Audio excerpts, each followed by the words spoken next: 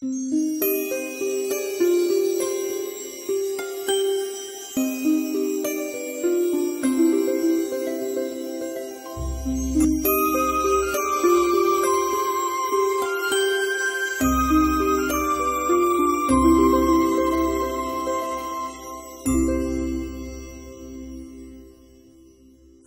در آغاز شاهنامه میفرماد که یکی نامه بود از گه باستان. فراوان بدو اندرون داستان پراکنده در دست هر موبدی از او بهره ورده هر بخردی. یکی پهلوان بود دهقان نژاد دلیر و بزرگ و خردمند و راد. این پهلوان ابو منصور محمد ابن عبدالرزاق توسی بوده. کنارنگ خراسان بود. کنارنگ نام یعنی لقب استانداران استانهای مرزی است. چرا نامش نیاورده؟ برای که این نامش در وزن شاهنامه نمیگنجه.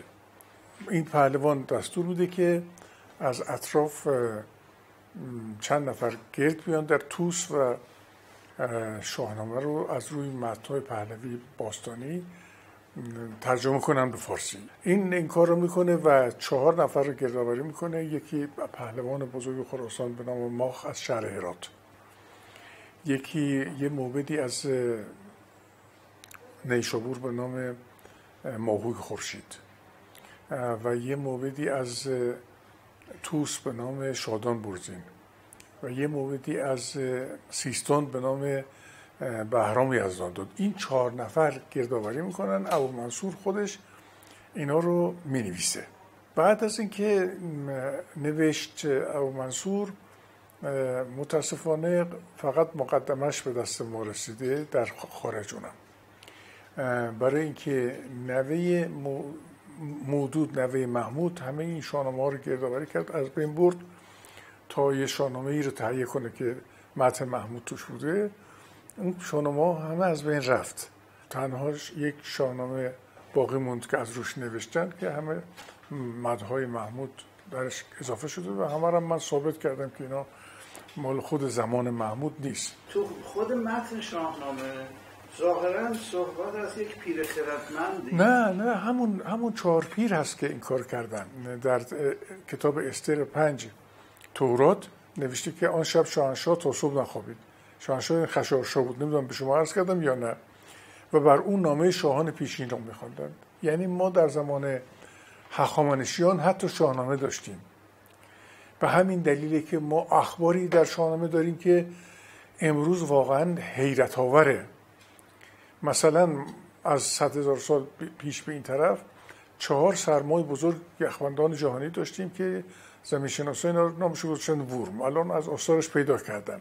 این هر چهار ورم در شاهنامه یادآوری شده که البته هیچ کس اینا رو یادآوری متوجه نشده به یاری یزدان و به یاری روان خود فردوسی و همون نیاکان ارجمندی که اینا رو یادآوری کردن.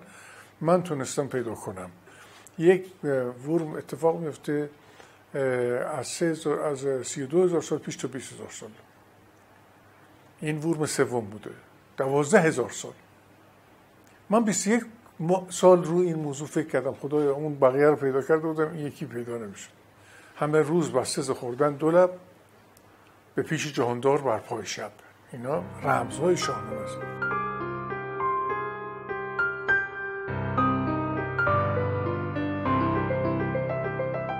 رازهایی داره شاهنامه که باید شکافت اینا رو. اینا باید بدونیم که سیاوخش یک شخص نبوده.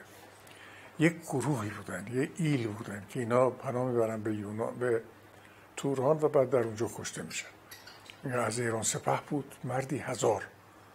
همه نامدار از در کارزار از بود از در نیشایسته همه کشته گشتند بر دشتکین زخونشان همین لالگون شد زمین.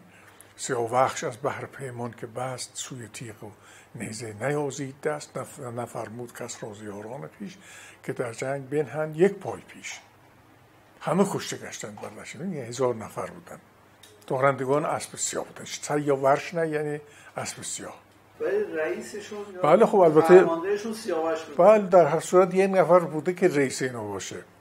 حالا یا اونم اسمش سیاوخش بوده یا اون ایل اسمش سیاوخش بوده این یک اسم جداگانه داشته بالاخره یک گروهی بودن که کشته شدن همش. ما اسفندیار که وارد جنگ با رستم میشه آیا دلیلش مهرپرستی رستم نبوده؟ نه نه. در گفتارها اصلا از این نام برده نمیشه. یک کرانی گرفته, گرفته است در جهان یک گوشه که نشستی پلو پادشاه نیامدی دلیلش اینه. از وقتی که گشتاس پادشاه شده تو هیچ سراغ از گشتاس نگرفتی. و دلیلش اینه. رستم. از گشتاس سراغ نگرفته. بنابراین باید دستتو بند کنم ببرمش اتفاق این افتاده که در داستان اینه که رستم بر سیستان بوده و به اعتناب گشتاس نکرده. گشتاس از جاماس که وزیرش بوده می‌خواد ببینه که مرگ اسفندیار چی است. جاماس میگه که مرگش بر دست رستمه. بنابراین گشتاس اسفندیار رو فرما میده که رستم رو ببند و بیار به درگاه. خب هر چی رستم تقاضا اینا میگه من درست نیست من من پهلوان ایران بودم اینجوری بود از زمان باستان و درست نیست که این کار بکنم اون میگه نه غیر از بند. هیچ سخن دیگه نگو. البته میگه من تو رو ببرم پیش شاه اونجا خودم تاج بر سر مینم و تو میگه نه همین که دست من ببندی درست نیست. من این دست بر ایران کار کرده. خلاصه می‌رسه به پایان. و اونی که زال به رستم میگه که خب با هدیه و درم و دینار و باید نمی‌دونم زر و وسایل جنگی و اسب و اینها راضیش کن که جنگ نکنه با تو. رستم پاسخ میده که گر او سر ز کیوان فرود آردی این مهمترین بیت همینه که هیچ کس بهش توجه نکرده. اون که ایرانیان می‌دونستن که بزرگترین ستاره منظومه خورشیدی کیوانه. میگه سر گر او سر ز کیوان فرود آردی میگه سرش انقدر رفته بالا که به کیوان رسیده. روان زبانش یا روانش برای من درود آردی از اون نیستی گنج و گوهر داری نه برگستوان و نه کوپال و تیغ. اون نه فقط سرشو بالا گرفته میگه باید بند بیای بند. و فردا وقت باز دو مرتبه رستم خواهش می‌کنه. میگه نه خواهش نداره رستم خطاب می‌کنه به خداوند که آفریننده هور و ماه فضاینده جاه و نگارنده گاه همی بینی این پاک جان مرا. روان مرا هم توان مرا. که چندین بکوشم که اسفندیار مگر سر بگرداند از کارزار تو دانی به بیداد کوشد همی. به من جنگ و مردی فروشد همی. به پادفره این گناه هم مگیر تو ای آفریننده ماه و تیر. چرا میگه ماه و تیر؟ این کمانی که می‌خواد بزنه اون ماه اینم تیر. ای خداوندی که ماه و تیر آسمان رو آفریدی. پادفره من نگیر. بزد راست بر چشم اسفندیار سیاه شد جهان پیش آن نام دار. حالا جالب اینه که اسفندیار خطاب به رستم می‌کنه که بیا بالا سر من. این تیر رو نه تو زدی نه سیمرغ زد نه زال زد. این رو پدر من به من زد. در حالی که اشتباه می‌کنه خودش به خودش زد. با حضور پدرش ادعای شاهی داشت. برای چی؟ پدر هنوز زنده است. چرا باید ادعای شاهی بکنه؟ من اینا همه در شاهنامه اومده متا کسی به راز و رمز شاهنامه توجه نکرده. همه به زواهر توجه کرده.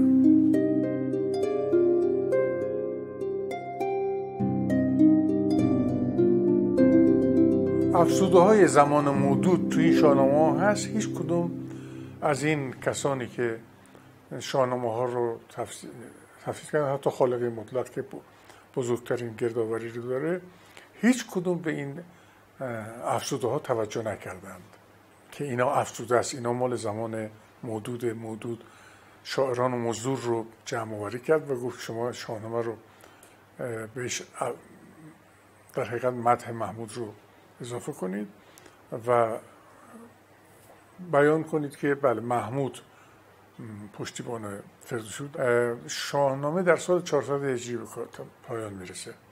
پس چون سی سال بوده در 370 آغاز شده. 370 محمود یه بچه بوده 11 ساله تو کوچه های قزنین بازی می‌کرد. چطور این دروغ رو گفتن و مردم باور کردن؟ اینا همه رو مودود باعث شد. منتها نه مودود مثلا شاعران مثل اسجدی و انصوری که خود فروخته بودن اینا. حیف از اون بیان زیبایی که اینا داشتن که اینا همه رو خودشون رو به محمود فروخته بودن دیگه. مودود کیه؟ مودود نوه محموده. یکی از به اصطلاح عمرای غزنویه.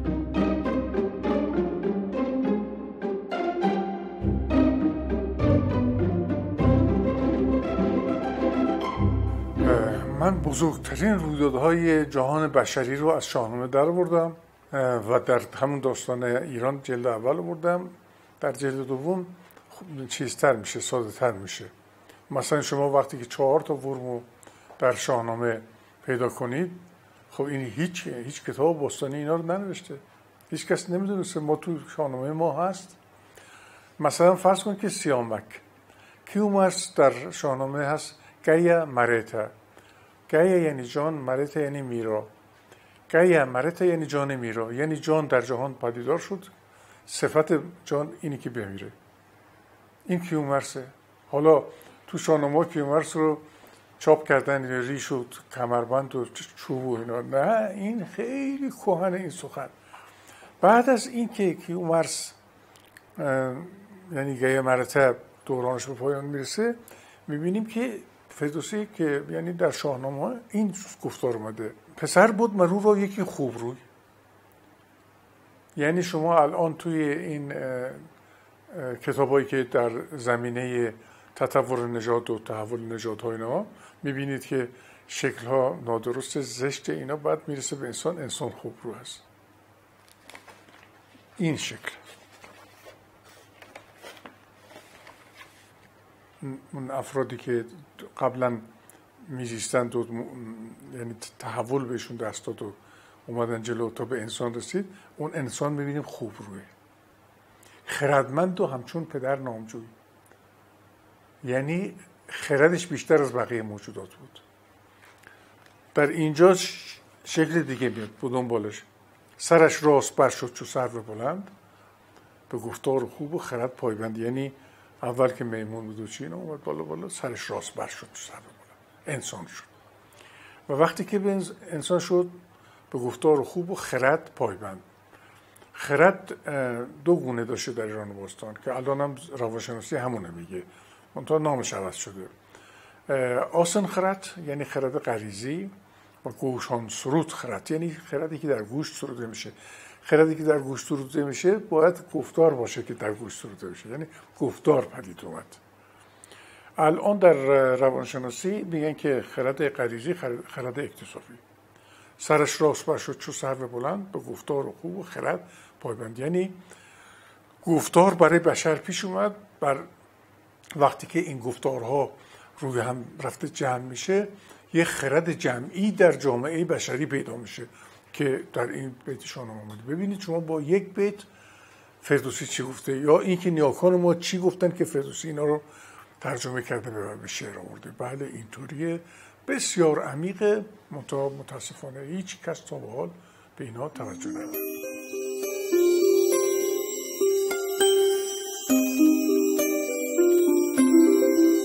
من پیام میدم به نسل جوان که برترین بزرگترین کار دانشی جهان شاهنامه فردوسی ماست. چیزایی که امروز تازه جهان داره می‌فهمه مثلا این ورما رو کی فهمیدن؟ شاید صد سال پیش فهمیدن.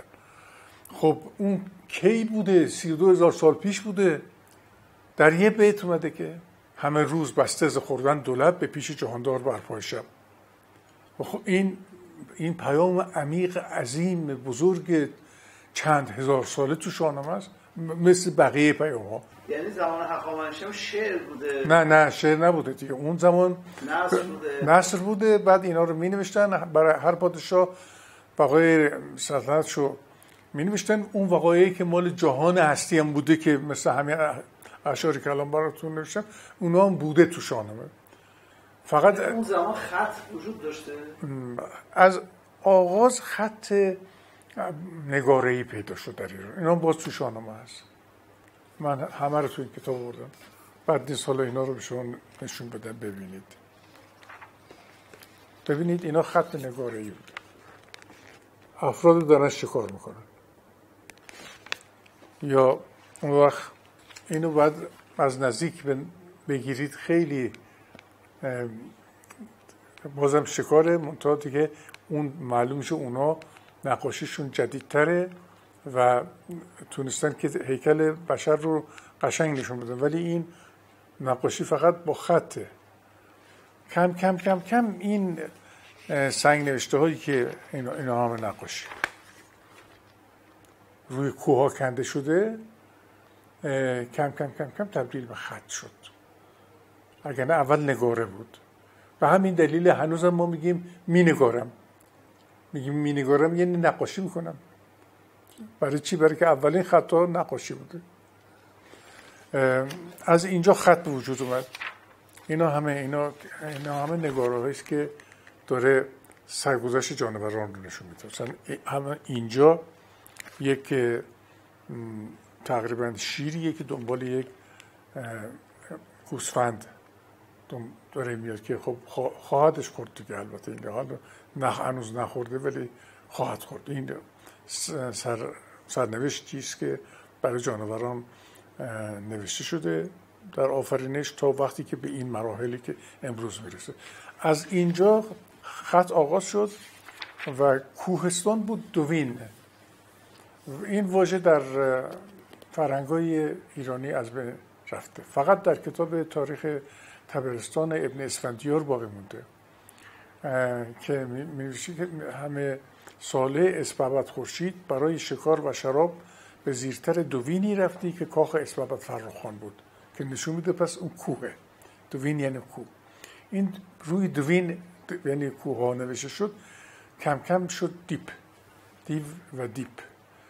دیپ هم یعنی یعنی نوشتن. که واژه دیپیر پهلوی اوستایی از اونه که در فارسی شد دبیر. این در زبان یونانی شد دوب. این در زبان عربی شد ادب. همه اینا نوشته ها از روی اون نگارگری است که روی کوهستان و دوین ها کندن. این سرگذشت همه اینا در شاهنامه هست.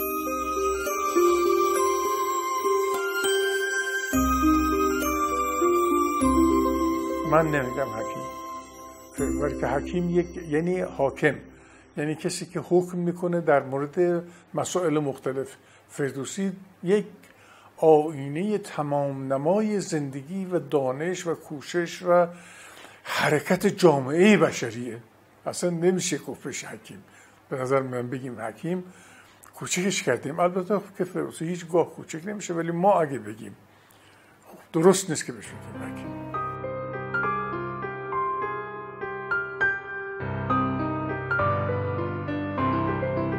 خواستگاه زرتوش رو هر کسی یه جا که بعضی میگن آذربایجانه بعضی میگن تاجیکستان بعضی میگن افغانستان اما در یسنا 19 بند 15 تا 19 قشنگ آورده که خواستگاه زرتوش در ری بوده. بندهای 14 15 16 17 18 19 یسنا 19 رو بخونید می‌بینید قشنگ اونجا گفته که زادگاه زرتوش ری هست. هیچ کس به این توجه نکرد. وقتی که میگن که آذربایجان بوده برای اینی که آذربایجانیان گرامی که از اصیلترین ایرانیان هم هستند ولی در این دو صده اخیر زبانشون رو استعمار انگلیس و روسیه اینا رو برگردوند و کسانی مثل مثلا نظامی گنجوی و شروانی اینا رو شوخی نیست. بزرگترین یکی از بزرگترین شاعران ایران اینو به زبان فارسی همه گفتن اینا. اینا آذربایجانی بودن. یک رساله هست به نام رساله مولانا روحی انارجانی. انارجان الان یه شهرکی نزدیک تبریزه اون اهل اونجا بوده. تمام فارسی تمام گفتار. اصلا ما یک کتابی داریم درباره آذربایجان بزرگترین کتابی که تو ایران چاپ شده. تمام مسائل آذربایجان تو این کتاب. همه ایران فارسی بوده. حالا دیگه کم کم واژه شد. ولی این آذربایجانی ها که دوست داشتن که بگن زرتشت از ماست گفتن آذربایجان. کردها باز همینطور گفتن زرتشت کرد بوده. خراسانی ها دلشون می‌خواست خراسانی باشه. خود اهالی محل ها این کار کردن. اهورا نام خداست مزدای یعنی خرد. اهورا یه اهو یعنی جان مزدا یعنی خرد. خداوند جان و خرد. که فردوسی هم همین میگه به نام خداوند جان و خرد.